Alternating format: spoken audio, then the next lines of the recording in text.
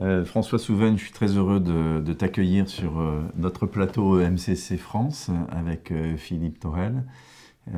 tu vas participer au colloque EMCC e du 23-24 mars 2018, le 14e colloque de l'EMCC France.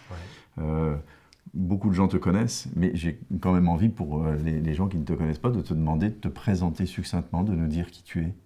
Alors, très rapidement, parce que ça, peut être, compte tenu de mon histoire, un peu long, mais j'ai une histoire de vie qui a démarré dans l'entreprise, euh, dans des structures de type formation RH. Euh, au début des années 90, euh, une des premières écoles de coaching.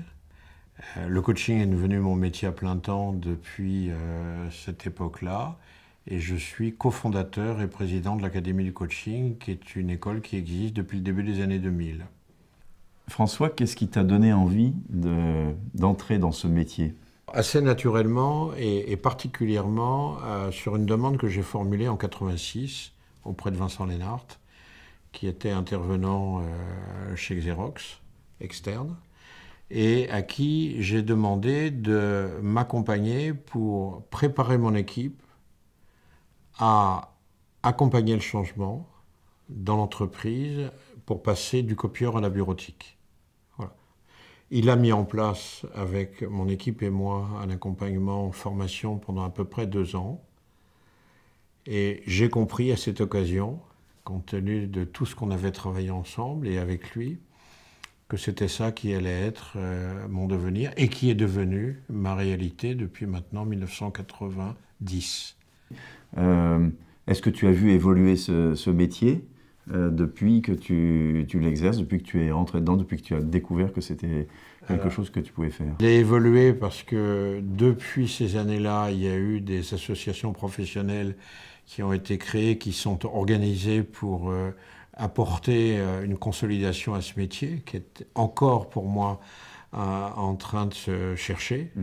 il a trouvé une partie de la réponse mais c'est peut-être bien heureux comme ça. Il est encore aussi en chemin, ça c'est un premier point. Euh, le métier s'est aussi terriblement professionnalisé en termes de formation.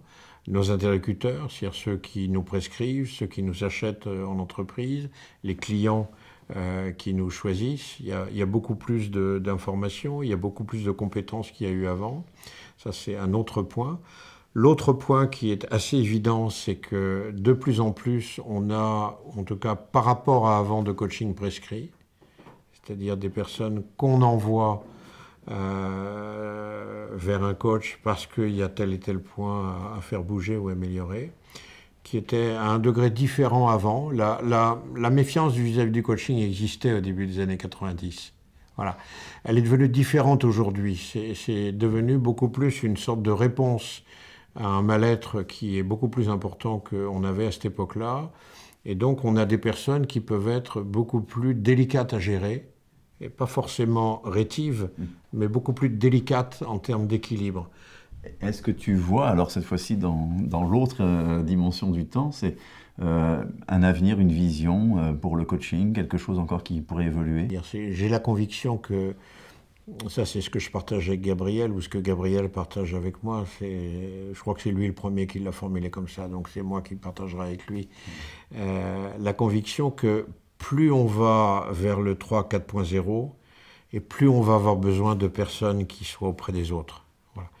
Ma deuxième conviction, c'est que plus on va vers ce monde-là, et, et, plus on va perdre ce besoin d'humanité. Donc il y a à la fois un, besoin très concret qui est un besoin de capacité d'écoute.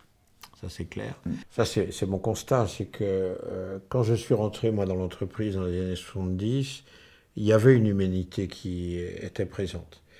Plus j'évolue, plus je vois les choses évoluer. C'est-à-dire, moi, plus je, je prends de, euh, de la seniorité, plus je vois les choses autour de moi évoluer et plus je me rends compte que cette humanité est, de moins en moins présente. Le, thème du colloque 2018 cette année pour cette 14e édition euh, de l'ENCC, c'est euh, l'éloge de la métamorphose en chemin vers une nouvelle humanité. Et, euh, et tu évoquais ce besoin amplifié de relations, de qualité de relations, de multiplication des relations. Et je crois que c'est un peu aussi le thème que tu souhaites aborder dans ton atelier cette année. Exactement. Est-ce que tu peux nous en dire un peu plus? Alors déjà sur la, métamorphose, j'ai envie de témoigner d'une chose, parce que ça m'a beaucoup touché ce, choix.